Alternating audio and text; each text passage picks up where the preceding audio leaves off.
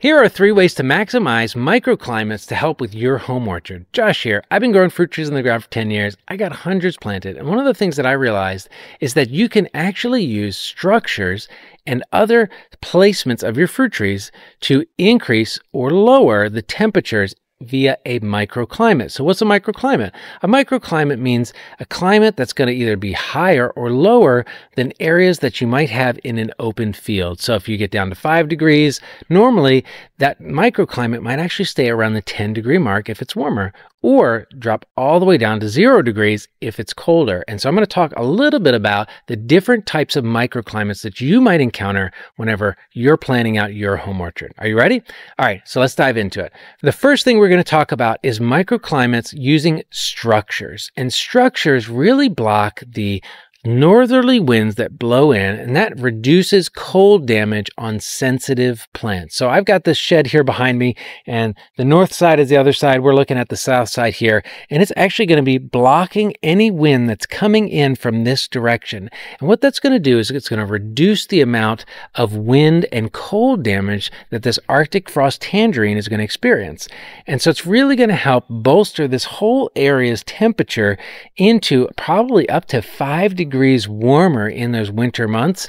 And in terms of the plant, it's going to protect that stems and the, the trunk and all of those areas from getting that constant northerly wind that really cold wind that's going to blow in because it's going to be going over top this structure and it's going to leave a little bit of a heat pocket in this lower area. So you can use structures to help block your primary wind to help raise the temperature and it's also going to absorb and release a little bit of uh, warm temperature areas around the structure stuff, but probably not because this is a lot of wood. All right, and that leads us to number two. Number two is utilizing passive solar heating techniques. So passive solar means that an object will absorb heat during the day and then slowly release that heat into those evening hours. So things like stone walls, brick walls, any type of masonry or rock that can be of larger substance can really absorb heat and then slowly release that into the area around it over those evening hours. Some people even use 55 gallon drums painted black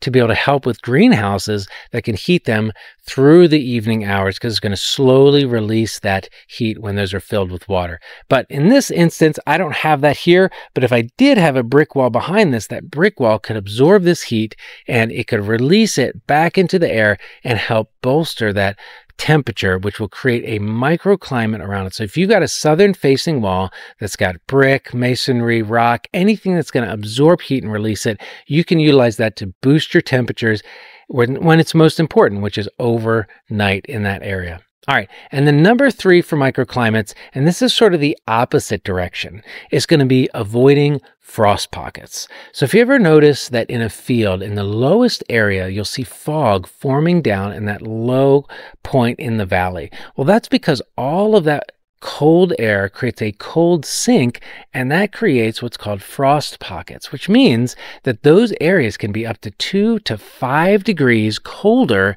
than the rest of the field, especially on that upper part. So you want to avoid planting in the lowest parts of your valleys where all of that cold air is going to accumulate and create that cold frost pocket because it's going to help your tree in terms of reducing damage to blooms, uh, the cold hardiness of the tree itself, and it's just going to create a better better environment if you let that cold air pass through without impacting your fruit trees. So if you're in a large open area, if you're in a field, if you've got a low spot where fog normally forms, you might want to avoid planting there, especially for trees that are going to blossom early that might suffer from late season frosts damaging their blooms. If you want to learn more, make sure to follow me along this 20 day challenge that we're in, where we're going over all the foundational fruit tree knowledge that you need to know to get your home orchard started. All right, I'll see you in the next video.